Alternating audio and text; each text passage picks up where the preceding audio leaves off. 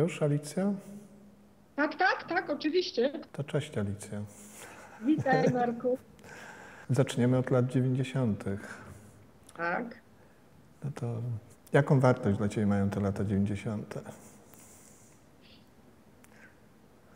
Młodzieńczość, dynamizm, eksplozja mojej, wiesz, jakby aktywności artystycznej i burza wizji, także duże niespełnienie, bo to były ciężkie czasy, wiesz, nie można było zrealizować ze względów finansowych wielu rzeczy i człowiek czuł się rozczarowany, ale ogromna ekspansja taka, wiesz, artystyczna, także fantastycznie wspominam te czasy.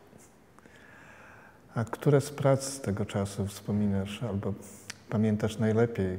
No niewątpliwie grzech pierworodny był związany z początkiem mojej przewlekłej choroby i dlatego bardzo intensywnie to pamiętam, ponieważ właśnie no, od, odbił się wiesz tak fizycznie na, na mnie i później również fizycznie poprzez prawda, różne perypetie, jaki, na jakie spotkała się, z jakimi spotkała się ta praca.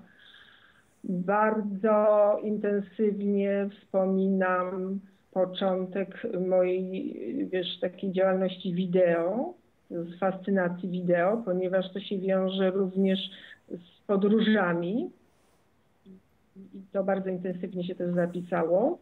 No i również projekt Onone Świat po świecie, z którym właśnie wiążą się największe rozczarowania, dlatego że ten projekt miał być filmem science fiction, i, i nie udało mi się, mimo ogromnych wiesz, prób i walk, nie udało mi się tego w takiej wersji, tej pierwszej, wytycznej zrealizować.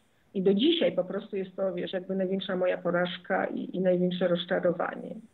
Na co starałeś się zwrócić uwagę, robiąc grzech pierworodny e, i potem kolejne prace? Do czego chciałeś się odnosić? Każda z prac właściwie, jaką, jaką robiłam, y, odnosiła się do mojej egzystencji i mojej, i mojej wizji czy zrozumienia istnienia w rzeczywistości społecznej jako człowieka i rzeczywistości nie tylko społecznej, ale właśnie podwójny, podwójnego istnienia człowieka jako artysty pierwsza część może lat 90. była takim okresem płodowym, nie? gdzie ja po prostu, wiesz, tam się gdzieś wykluwałam, to wszystko się, wiesz, gdzieś tworzyło i wybuchało. I, i dopiero, wiesz, wyszło na zewnątrz, a dzisiaj już jestem coraz bardziej, wiesz, jakąś taką ukształtowaną, wewnętrzną tą osobowością twórczą, która już tyle się z tym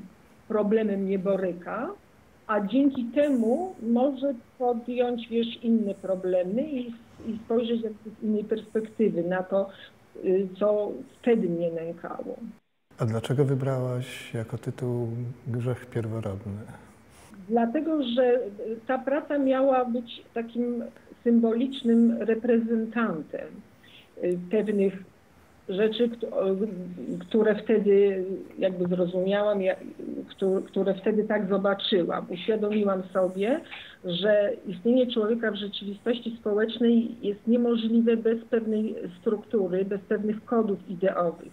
Że człowiek jest taką konstrukcją biologiczną, który musi, ze względu na rozwój swojego umysłu, rozwój mózgu, musi funkcjonować mentalnie i ten przerost mentalny, przerost świadomościowy buduje właśnie te y, kody ideologiczne, dzięki którym po prostu jest możliwe w ogóle przetrwanie.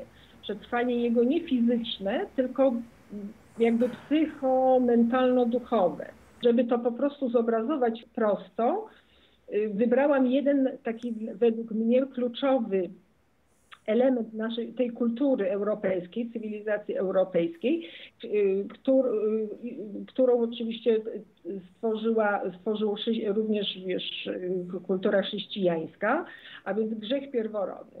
I to nie była praca właśnie, która miałaby dekonstruować powiedzmy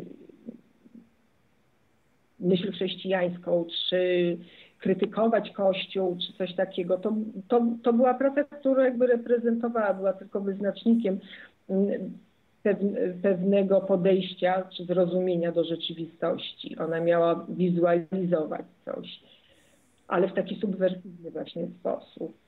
Jakie znaczenie miała ta scena narodzin lalki Barbie? Jakie znaczenie miało używanie przez Ciebie ciała w grzechu pierworodnym i później w następnych pracach Twojego ciała?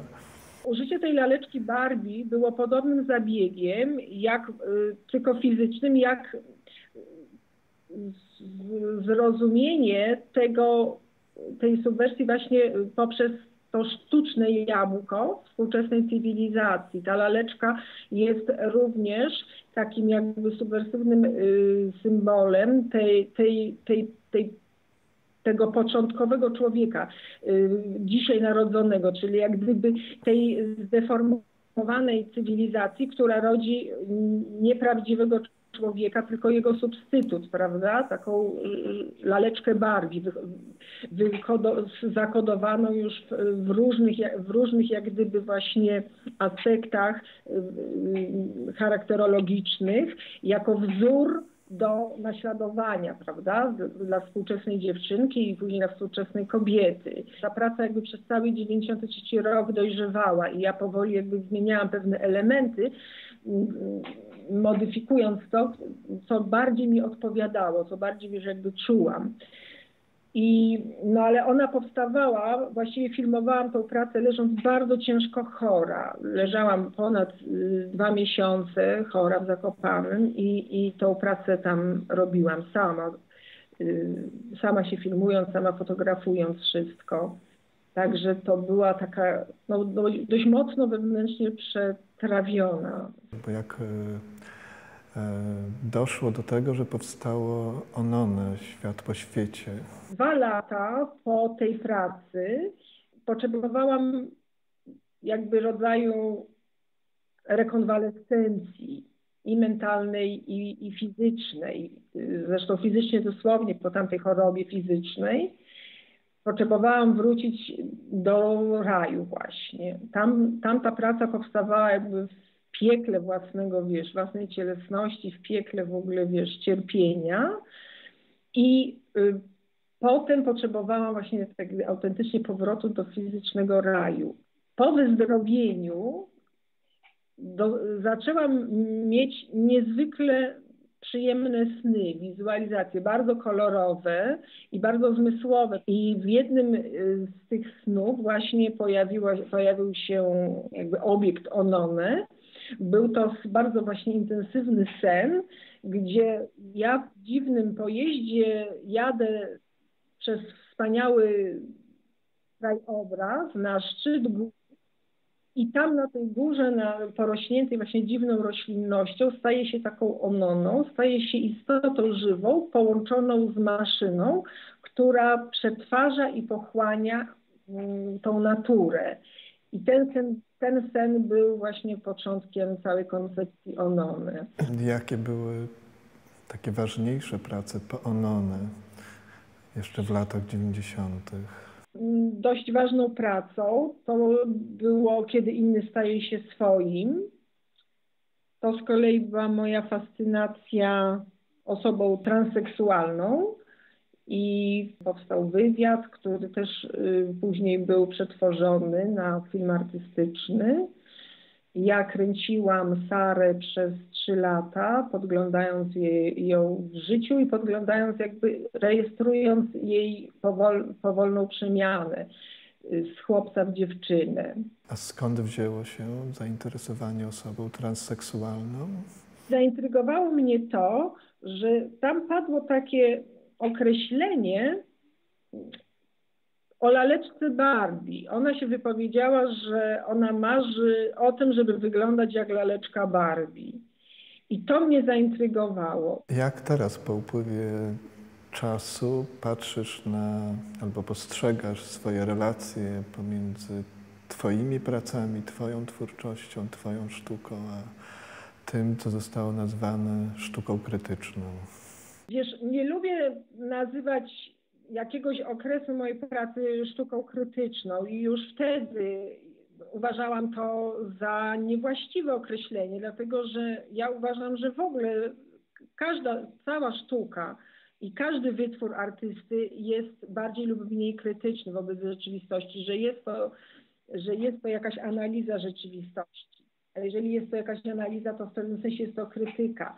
I, i Warhol robił sztukę krytyczną i Goya robił sztukę krytyczną, malując, prawda, scenę rozstrzelania powstańców I, i, i, no po prostu na każdym kroku to widzimy. Także moim zdaniem jest to uzurpowanie sobie czegoś i jakieś takie y, zupełnie sztuczne i niewłaściwe określenie, ponieważ to tak jakby nagle, wiesz, pod koniec XX wieku w ogóle artyści dopiero wymyślili sztukę krytyczną i, i to było, wiesz, jakby nowe zjawisko w ogóle artystyczne, co jest kompletną bzdurą według mnie. Uważam, że nadal jestem krytyczna wobec rzeczywistości, nie w takim znaczeniu dosłownie, jak, jak to określa, określają krytycy pod mianem y, sztuki krytycznej. I to, co robię dzisiaj, jest absolutną ciągłością i kontynuacją tych moich wewnętrznych rozterek, tych moich wewnętrznych pragnień, inspiracji artystycznych. I czuję wręcz fizyczną ciągłość z tym, co robiłam wtedy i co robię teraz. Alicja, bardzo Ci dziękuję. Ja również.